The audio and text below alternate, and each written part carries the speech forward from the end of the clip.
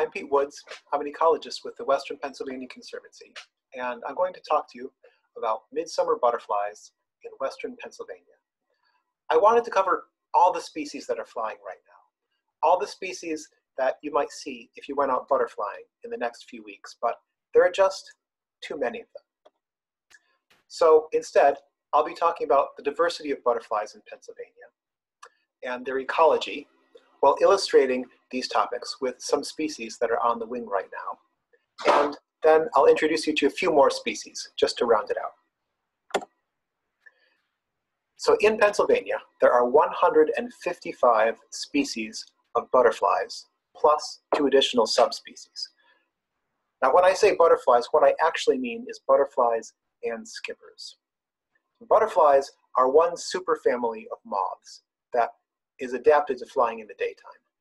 And there's another superfamily of moths that's adapted to flying in the day, and that's the skippers. And they look kind of similar, and most people just call them all butterflies. So I'm going to lump them together and call them butterflies. Um, so of those 155 species, 10 are not here anymore. They're either definitely extirpated from Pennsylvania or they're historic, which means they might be gone, but they could be hiding out somewhere, and maybe we can rediscover them. There are 33 species in Pennsylvania that we consider rare. And these are conservation targets for the Western Pennsylvania Conservancy and the Pennsylvania Natural Heritage Program, and we keep track of these as rare species. There are 15 additional watch list species. These are species that might be rare or they might be a little bit too common to be called rare, and if we get a little more data on them, we hope to be able to put them in one category or the other. There are also 35 non-resident species. You can find these in Pennsylvania, at least sometimes, but they don't live here year-round. Finally, there are two introduced species of butterfly. One is the cabbage white, which you probably have in your backyard, and the other is uh, this one, the European skippers, one of our tiniest butterflies. And these, of course, were introduced from Europe. So the ecological roles of butterflies are all the ways they interact with other organisms and their environment. And this includes the things that they consume, the things that consume them, and other processes such as pollination. So when you think of a butterfly, you might picture it being on a flower. There's a symbiotic relationship between flowers and their pollinators. The plant provides nectar in exchange for the possibility of pollination. That is the hope that a butterfly or some other pollinator will accidentally pick up pollen from one flower and transfer it to another flower of the same species. Of course, butterflies aren't the only insects that provide pollination, but they're often the most noticeable because they're large and they're active in the daytime. Other pollinators include moths, flies, bees, and beetles. Butterflies are very well adapted to drinking nectar. Um, they have a proboscis, which is kind of like a hollow drinking straw. In this photo, this skipper has its proboscis uncurled and inserted into a swamp milkweed flower. So this is the only way that adult butterflies um, get nutrition. They don't have any chewing mouthparts as they did when they were caterpillars. Most caterpillars are herbivores. And on the right is a pipevine swallowtail. And that yellow thing on its head is called an osmeterium. It's, a, it's an anti-predator defense. And it emits foul-smelling chemicals that um, are supposed to deter a predator from eating. The pipevine swallowtail, like many caterpillar species, is a specialist. That is, it only eats a few species of plants. In this case, it's a pipevine plant. The caterpillar on the left is actually not a caterpillar. It's the larva of a sawfly. So as larvae, most sawflies are very much like caterpillars and are easy to mistake for caterpillars, but they're actually related to wasps. And as adults, they look a bit like a wasp and they are predators on other insects. Uh, of course, butterflies, when they're adults, are not predators. Um, but some caterpillars are carnivores. Uh, we have two carnivorous caterpillars in Pennsylvania. One is the harvester, that's the adult on the lower right, and the caterpillar on the lower left. The top photo is woolly alder aphids. This aphid and several other species of aphids are what this caterpillar eats. Harvesters have a shorter life cycle than any other butterfly in this region, going from an egg to an adult in just 21 days. So they can pack in five or more generations into one year. And that's because of the high protein content of their diet. Our other carnivorous caterpillar eats these. Anyone who spends a lot of time looking at cherry leaves will eventually notice these black cherry leaf galls. Inside, these galls are packed with dozens of tiny little mites, and these are the main food of the cherry gall azure. And I don't have a photo of those caterpillars, but this is a closely related summer azure, and it's eating flower buds from a horsebalm plant. It doesn't eat the whole bud. You can see the hole it left on the flower bud on the right side of the photo. After it makes that hole, it reaches inside and eats out the internal parts, including the protein-rich developing pollen. So it's not a big stretch for a caterpillar to go from eating the high protein bits inside a flower bud to eating the high protein bits inside uh, an insect gall. When an azure caterpillar finishes uh, eating its buds or mites and it's gotten to full size, it will pupate until the next spring and then the cycle will start all over again. Unless, of course, it gets eaten by something. Various animals love to eat caterpillars and butterflies. Birds are one of the main predators of caterpillars, but um, other vertebrates and invertebrates also take their share. Crab spiders, like the one on the right, are ambush predators, and flowers are one of their favorite places to hide and wait for prey, and they're very well camouflaged, hiding among the flowers. So with heavy predation rates, butterflies and caterpillars have evolved a number of anti-predator defenses. Um, and one of them is spines like this. This is actually a moth caterpillar. It's a buck moth, which is a rare species in Pennsylvania, and it lives in scrub oak barrens. And these spines are why you shouldn't try to pick up a buck moth caterpillar. This defense works very well against larger predators like birds, but it doesn't work very well against tinier enemies. You can see two small white oval eggs stuck on this caterpillar. These are the eggs of a tachinid fly. And when they hatch, the fly larvae will burrow into the caterpillar and eat it from the inside. And this caterpillar isn't going to survive. Parasites and parasitoids like this can be a major source of mortality for caterpillars.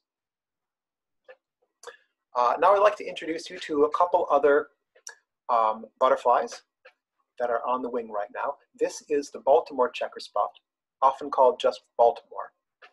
This species is considered rare in Pennsylvania. This is white turtlehead, the primary host plant for Baltimores. And at least in western Pennsylvania, all Baltimores, when they're young caterpillars, start on white turtlehead. This photo was taken at Lowville Fen, which is a WPC property in Erie County. These are Baltimore eggs on the underside of a turtlehead leaf. Now something else came along and was eating this leaf, and I think it was after the eggs were laid. Um, it might have been a turtlehead sawfly larva, but whatever it was ate around the eggs because they're protected by chemical defenses. All life stages of the Baltimore have aposematic coloration which means that it's a, it's a bright color that warns predators that Baltimores are distasteful or toxic. And if you get really close up here, you can see the barrel shape of each egg, and the eggs are stacked two, sometimes even three eggs high. If you've ever watched a monarch butterfly laying eggs, it lays one egg on one plant and then flies to a different plant to lay another egg. And this probably helps the caterpillars to not compete with each other. But Baltimores um, stick together. They live colonially, and even after they hatch, they stay close together, sharing a, a silk nest on one turtlehead plant. And after they've grown up together that first summer, they overwinter as caterpillars. And when they come out in the spring, they emerge, and each one goes on its own way. And if they can find turtlehead, they'll eat turtlehead, but they'll also eat a wide variety of other plants. They start as specialists and then become generalists. So after they get nice and fat eating whatever plant they find, they pupate for a few weeks, and then they emerge as an adult. Butterfly watchers know Baltimore's as a species that might be found in the same place for a few years, but then it'll disappear and it may be gone for many years before it comes back. And we think this is because they deplete patches of turtlehead. The caterpillars just eat them down until there's nothing left. And then that population will have to disperse and go elsewhere. And eventually, uh, the turtlehead will recover. And then eventually, a Baltimore will find it and come along and recolonize that patch. Now, even if you haven't seen the other butterflies that I showed you today, I guarantee you've seen a red admiral. They're boldly colored on the dorsal surface of the wings. They have these uh, bright orange stripes on a dark background. And on the underside, they're very camouflaged, so it can stay hidden from predators by closing its wings, and it just looks like a leaf. Do you see a, a smiley face on this caterpillar? If we zoom in, you can see that the smile is actually the proboscis and it's curled up. And you can only see about half of that, of, of the curl because um, the rest of it is covered up by that white thing that looks kind of like a snout, but those are actually maxillary palps, which are a pair of finger-like sensory appendages. So red admirals usually arrive in Pennsylvania in May, and they look for the right plant to lay an egg on, such as this stinging nettle. See that curled up leaf there? If we unroll that, we will find a red admiral caterpillar. And in case you were wondering, yes, it was painful to get this photo. That was 10 hours ago and my fingers are still tingling. So red admirals can use stinging nettle as a host or they can use wood nettle as a host. Wood nettle also stings.